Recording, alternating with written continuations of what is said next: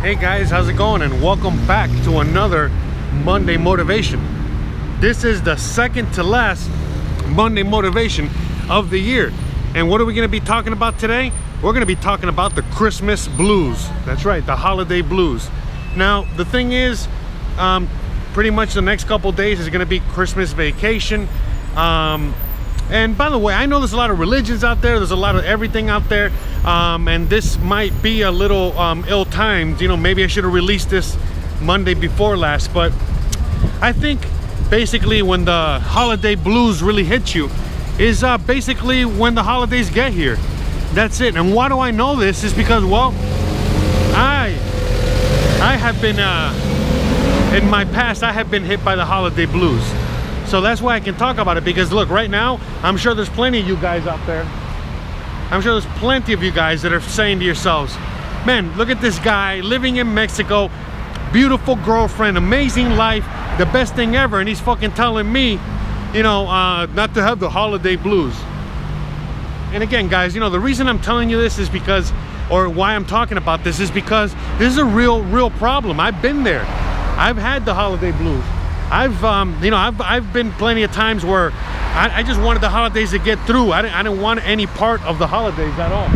And so, you know, this is, uh, this is why I want to bring this topic up a conversation. I want to, you know, talk about this because I think that this is something that affects a lot of people at, at one point or another in your life. Um, nothing's always 100% peachy and perfect. It's just not the truth. We all know that. And, um, you know, there's been plenty, like for example, this Christmas, this uh, this um, holiday season, I'm gonna be hanging out with my girlfriend and her family, and we're gonna be, it's gonna be fun, it's gonna be great. But last year, if you guys remember, you know, I, it was crickets, you know, literally, you know, there was nobody around.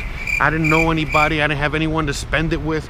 It was just, um, you know, me and uh, you guys, basically. And again, it wasn't even you guys behind because literally during Christmas, you know, I remember last year that uh, I myself was literally by myself because, um, you know, everyone is either hiding or, sh or shying away from every from the from the internet or from everyone, or basically, you know, people are doing their family thing whether they want to or not.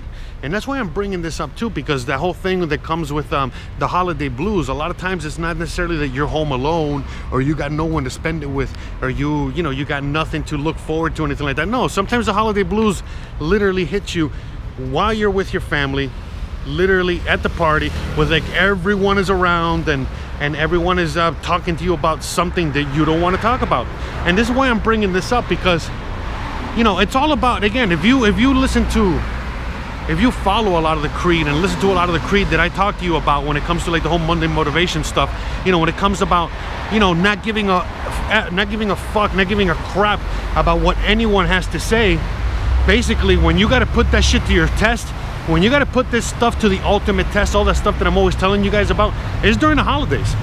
This is it. You know, whether it's Thanksgiving or Christmas or what have you, you know, basically you know, that's when you got to really put all this stuff to the test because you know what? The thing is that, you know, it, it's very easy for us to, you know, do something that others, you know, say, oh, that you're gonna fail at that. Oh, you suck at that. Oh, whatever. But you know why? Because we don't personally know these people. So when you're doing your thing, and um, you know, there's others out there that are hating on you. You know, it, it's for some people, it's actually pretty easy to just brush that off but what, you know, what really hits home, what really hits home and what really hits hard is when your family, when your friends, when your loved ones don't, not only do they not support you, but then, you know, they make it even more increasingly difficult for you. And so that's why, you know, during the holidays, it's such a rough time. I remember like 10, 15 years ago, I hated the holidays. I used to have to get drunk and high as fuck. I used to have to get like really you know, really, really fucked up, you know, just to deal with my family. And I'm sure I'm not the only one. Um, and so, and it was basically because they would ask me, like, you know, do you so uh, when uh, do you have a girlfriend or if i had a girlfriend so uh, when are you guys getting married or if i had a job how's the job going uh, you know what i mean but it was basically you know to like measure whether you know how good i was doing in comparison to to them or to others or to whatever and so that's why a lot of us you know, for the most part, dread uh, the holidays. Even if you, uh, you know, even if you had an amazing 2019, you know, there's some families out there when you get, you know, when you finally, uh, you know, get to the holiday season, oh, they just can't wait to shit all over your parade and shit all over you. And so to me, you know, that's why, you know, a lot of holidays, you know, for like the last, fuck, I want to say six years plus, you know, I think maybe, literally since I left Seattle, all my, all my holidays have been either by myself or with my friends. And the, I think the few times that I actually did visit family, I couldn't wait to get the fuck out of there. Because, you know, I love my family. Everything's great. We all gotta go visit. I miss home, you know, all that shit. But the reality is, is that at least for me, like a lot of people, it's uh, every time you go back home, it's more of a headache than anything else. It's more of uh, you got to explain yourself than anything else. It's more like uh, it's it's it's it's uh, instead of being something that's uh, you know nice and relaxing, you know something where you can take some time off and enjoy, you know the family, enjoy the holidays. You know for a lot of people, the holidays is, is extremely stressful, and it and literally comes down to the fact that the stress comes from dealing with your family. And again it's just explaining yourself to them. And um, you know that that you know can become overwhelming to a lot of people. That be, that becomes very you know um, you know again something very very hard to deal with a lot of people even myself. You know so that's why I personally I don't I don't care about necessarily like uh, you know being with people that don't that are just not gonna make my life better. You know they're either you, you know, I'm not interested in being in uh, in a situation, you know, whether it's family, whether it's friends, whether it's anything like that, in which it's gonna be, you know, a shitty situation for myself or a crappy situation for myself. So that's why I just basically avoid that all, all you know, altogether. And I've never been happier because I, I really don't, you know, just like the same thing I tell you guys, you know, we don't have anything to prove to anybody except for yourself and um, you know once you you know again once you realize that once you become more self-aware you know once you realize what's really important to you and um, you realize that what's important to you is not what's important to them. And um, and then you know the other part is that you know you got to tell your own family members or your own people that you know the same the, the people that love you you got to tell them to go fuck off sometimes because you know as much as aunt mary or cousin becky or you know uncle johnny all care about you they really don't you know what i mean? Like they don't they just care about you know um them. And it sounds harsh and fucked up but the reality is is that you know you know i don't want to get too deep with the whole psychological thing but basically it's always about projection. You know when somebody is telling you oh man, you know, you shouldn't follow your dream to do XYZ. You should follow this more, you know, steady, you know, job opportunity or this career or this uh, schooling because this is what's gonna, you know, make your life better, complete or whole. And again, they're projecting because that's what they got out of their life. And then they see you trying to chase your dream and then they never had the balls to do it. So then they fucking tell you, hey, listen, I, I never had the balls to do it, but you know what? I know you do, but I'm gonna take those balls away from you because, you know, you shouldn't do it for, for this, why, you know, all these reasons. And it's always like a variation of that. You know, whether it's um your own parents or loved ones that are, you know, again, again, a lot of times they're doing it for their own selfish reasons that they love you so much and they care for you so much that they don't want to see you hurt. They don't want to see you fail. They don't want to see you any of these things, you know? And so eh, whatever the reason is, whether it's malicious or not, it's um and in a lot of situations when we're dealing with our family it's basically what it is. It's it's a very unhealthy. It really is very unhealthy. And it wasn't you know it wasn't until like I, I started to realize that and I separated myself and I separated from myself from all that that hate all that um animosity all that jealousy all that everything that I started to all of a sudden you know blossom as a human being.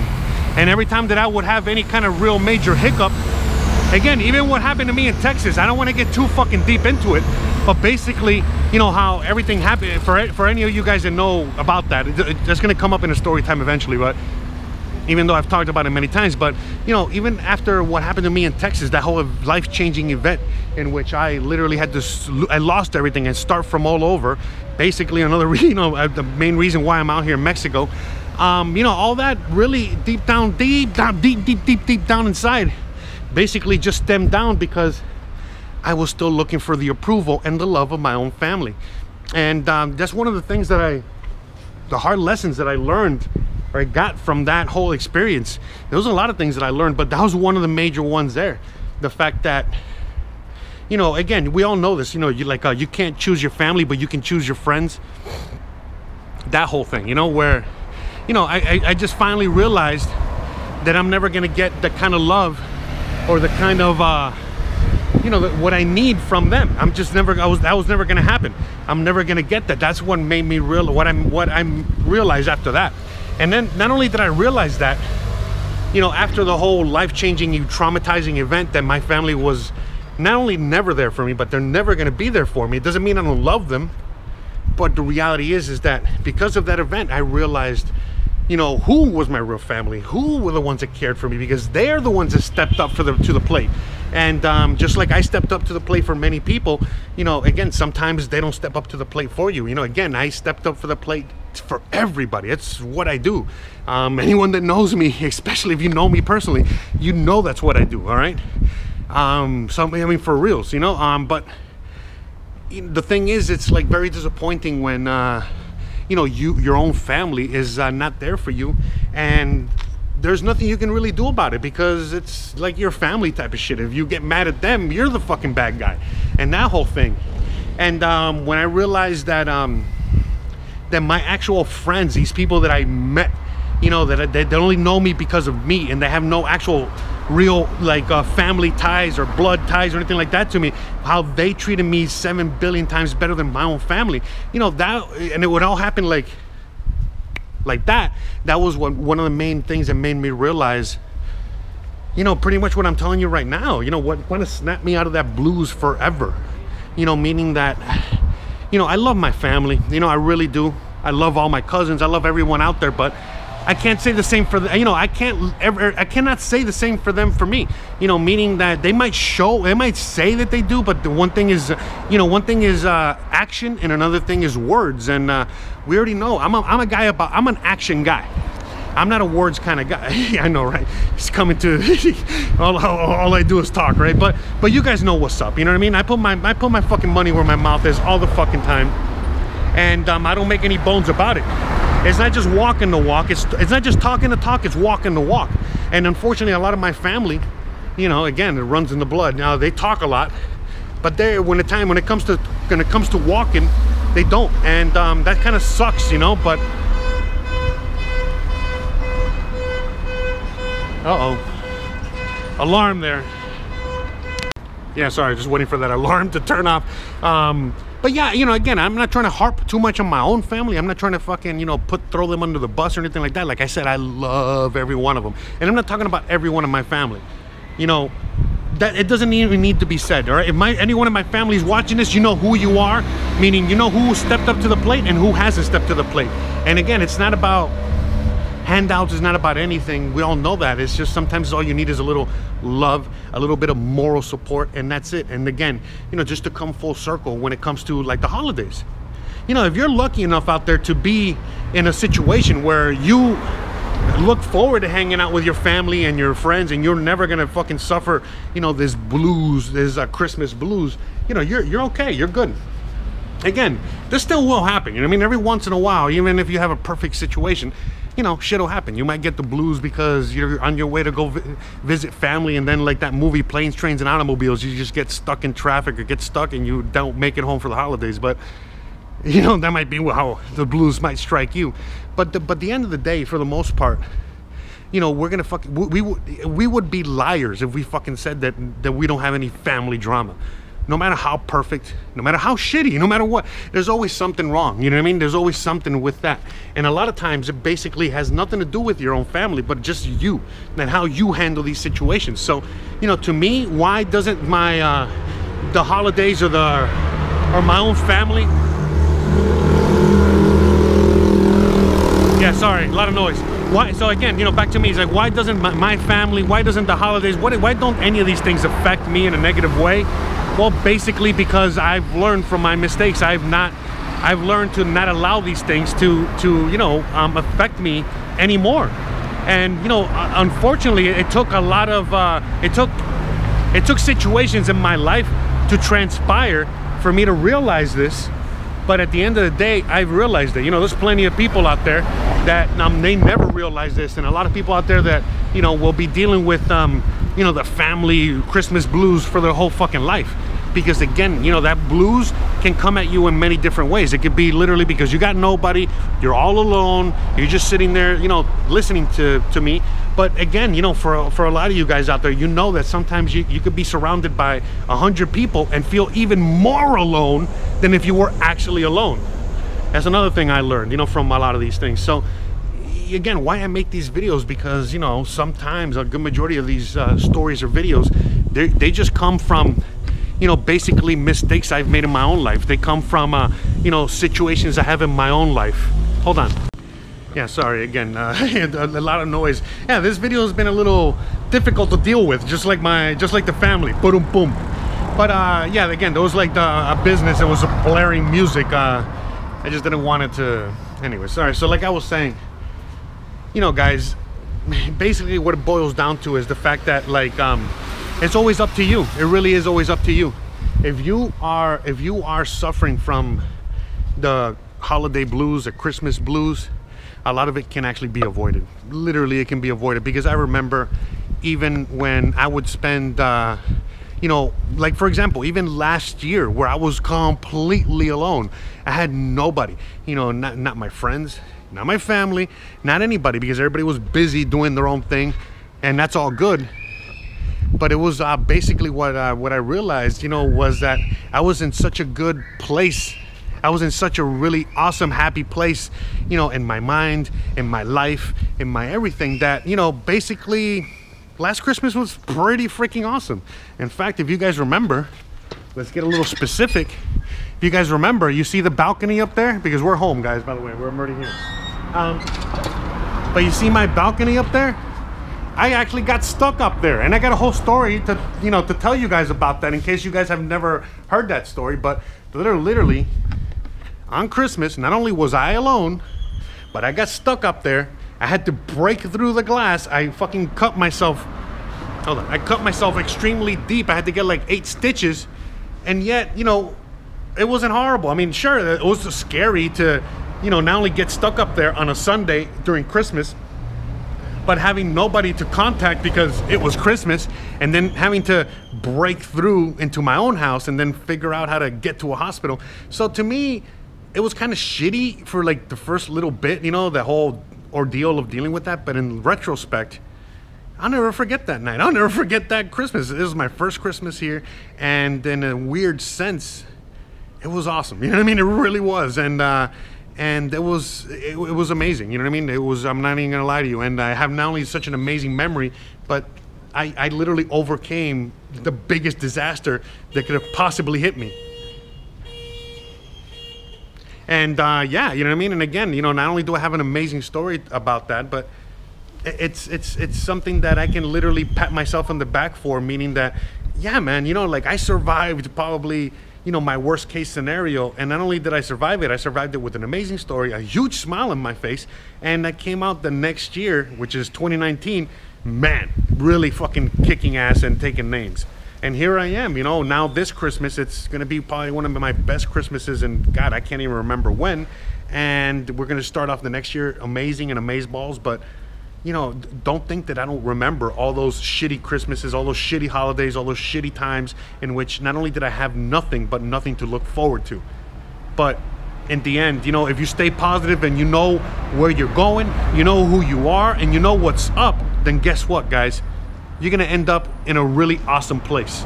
It's just you gotta know that everything. It not only is it gonna be okay, but that you got to fucking work hard to get there and that's it and you'll get there. You know again now i don't give a crap what you know what the consensus is. I know i'm the envy of my own family. I'm, not, I'm the envy of a lot of people. And to me i'm just living my life. I'm not doing anything special. All i'm doing is basically not listening to them and listening to me.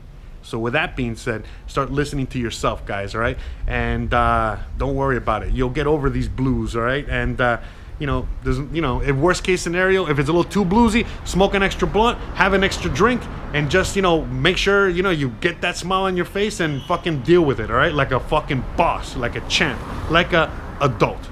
All right, guys, love you. I hope you guys have an amazing holidays. I hope you have an amazing rest of your day, an amazing week, an amazing everything. Um, I got some special episodes coming up for Christmas, and uh, you already know what's up. You'll see me back here Thursday, um, and that's it. We're all, we're finishing up the year. We got one more Monday motivation left for this year. All right, and um, yeah, whatever. I'm, i was gonna tell you. I was gonna you know spill some beans there. I was gonna do a little. Um, what's the word I was looking for? Spoiler, but I'm not gonna spoil what's coming up. I got some special stuff coming up, and you guys will see in the next days coming up. All right. Thanks again for watching. Don't forget to please like, please subscribe, please share, please hit that bell icon. But more importantly than anything else, stay awesome. Love you and peace out. And stay safe out there during the holidays. The biggest reason people are unhappy right now is because they value somebody else's opinion more than they value their own. Have the conversation with the person that's holding you back. The reason most people who are listening right now are not doing that thing is they're worried about the opinion of somebody, somebody, somebody. I am so devastated that you actually let your grandma's point of view, your mom, your dad, your sister, your aunt, you still let somebody else dictate based on their opinion every action you do, and it's your life. The reason I'm super happy is nobody can tell me nothing. My wife, mom, and daughter could walk into my room right now, tell me I'm a piece of crap, and I would be 100% unfazed. That is some gangster emotional structure. If you're not feeling it, find new friends. I'm being dead serious about this. This one is real big for me. The only way I've seen, now that I'm older, that you can build confidence is if you surround yourself with people that are optimistic. Start trimming your friend group and start adding to your friend group predicated on what you want to be. Like it's unbelievable what happened to me when I got into the Silicon Valley world and started meeting like Mark Zuckerberg and like Ev Williams and Sock and like Travis. Like it changed my life. Everybody in this room needs to cut out as much of the noise and time with people that are negative and spend as much time with people that are positive. The people you spend time with are the ones that dictate your mindset. Yeah. You can limit your time with your mom. You can limit your time with your best friend. You could tell your girlfriend or husband to go fuck themselves. Yeah. You fucking roll up on your dad, your mom, your sister and say, fuck you, I'm out. Because you're fucking toxic, I'll see you in six years if you figure out why the fuck I left. You're accepting to be in that relationship. If you feel motivated by this conversation or you're intrigued by it, add one new winner friend. Like, you know what I mean? Add one new winner friend and cut one loser friend. I feel like even when I give it away and I don't speak to them, the chatter of them talk like that means you that, like that, that, that means you value their opinion. Yeah. I don't. Yeah. Please let this be the video that drills through your head that your life is predicated on when you get real quiet and you can't hear another fucking person's two cents that has nothing to do with you and everything to do with where they are in life.